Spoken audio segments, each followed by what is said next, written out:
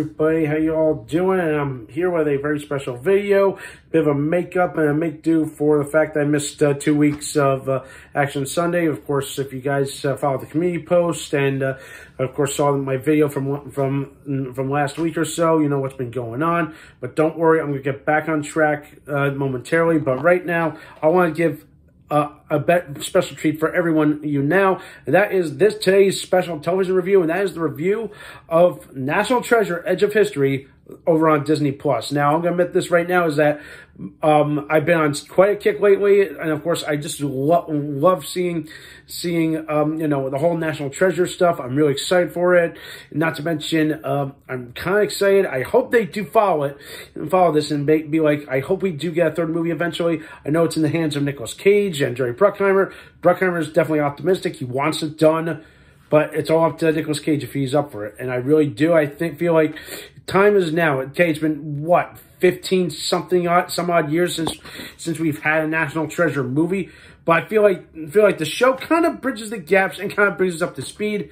And also, as well, satisfies our thirst to see another adventure, adventure with our favorite uh, uh, hunter. You know what I mean? But but however, this show is takes it in a completely different direction. Instead of following Ben Gates, we, we it follows a brand new story, a brand new set of characters, but um, there are a few characters and a whole lot of nods, nods if you have a good eye for it in this show. Like, I just, I was really happy and excited. I was like, ooh, now I'm real, now I really want to see where this goes, goes because like from the moment that the mm, that the that the opening sequence comes, you like when you hear Pierce Sadusky's voice, I knew I was in just I was go we were going somewhere, and of course they explained the whole legend and the whole whole like lore of what treasure where we're going with this now since we've done done you know treasure map and back mm, uh, back the Declaration of Independence, the President's Secret Book. Where to now? Of course, I feel like this is kind of piggybacks off of something that happened in the second movie.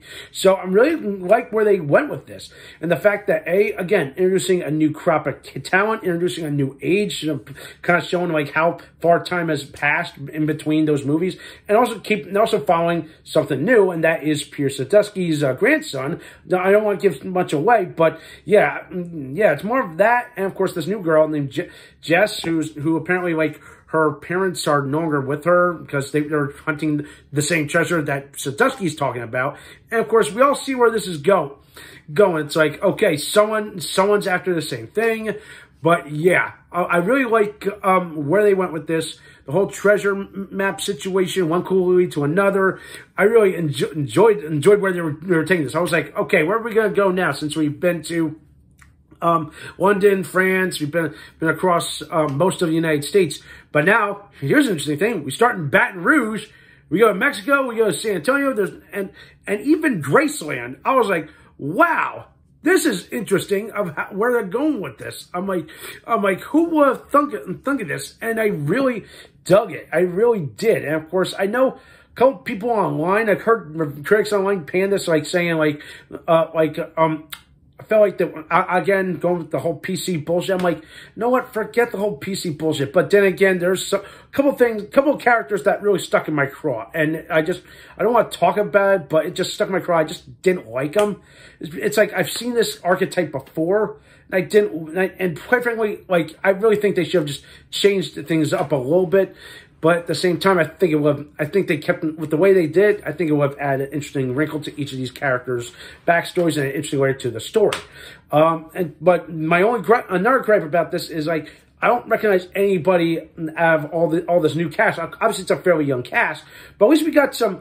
Got Catherine Zeta-Jones playing the villain, and of course, I felt like that was a pretty cool thing. Bring some life into, bring some star power to the show. I mean, you have her. I mean, it was great to see uh, Harvey Keitel as uh, Dusky, uh, a, a maybe for for an episode. Seeing Justin Bartha reprise his role as Riley Poole, even if it was just for an episode, was also was also a treat for me. And I love the whole twists and turns and the big shock reveal and at the end of episode nine, beginning of episode ten, of who the real mastermind is behind everything. I love where they go with it. And this, and of course, essentially hits all the adventure cliches and invents some new stuff.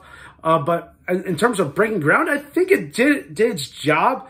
But then again, left the door open for, for season two, and I really want to see uh, where we go in season two. So we go from, from you know, ancient treasure map or these relics from of the Aztec, Incan, and uh, uh, and Mayan, Mayan went into a cache of Spanish gold somewhere in America to where, what, what now? Like, uh, I hope well, we get more on that and coming in season two, because uh, I know William Sadusky, Pierce Sadusky's uh, grandson says, says there's more to this tale because he, because he heard it on a tape. And I'm like, please, again, again, they're doing it again. I'm like, I know they're leaving us all in suspense. What was on the tape?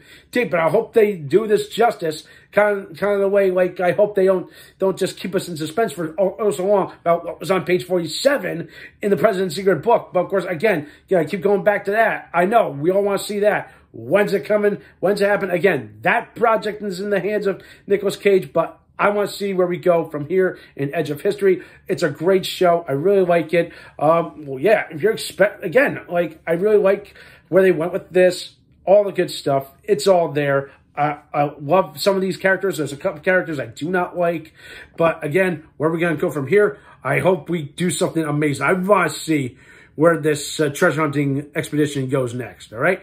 With that in mind, I'm going to give the first season of Edge of History. I'm going to give it I'm going to give it a, a, a hard eight for now, okay? There's, I was going to rate a little higher, but again, there's a couple of things, like I said, I didn't particularly like. Like, obviously hit some of the cliches, some of the stuff that I've already have seen before in adventure, in adventure films before, adventure serials, but yet back in, I've seen done in the National Treasure movies. Uh, but yeah, if you're expecting it to, to uh, like, uh, be something completely different. Um, I don't know. But then again, I definitely recommend it. It's really, really, really good. I've been telling this to almost everybody, even my own dad, who is a huge fan of the National Treasure movies. I told him, told me if you don't have Disney Plus, please get it. Get, get the show, watch, get, get it and watch the show. I think everyone will have a blast. All right. So that does it for today. What I want you to think, thumbs up video, subscribe my channel. Stay tuned for some more awesome and exciting content, everybody. All right. See you soon.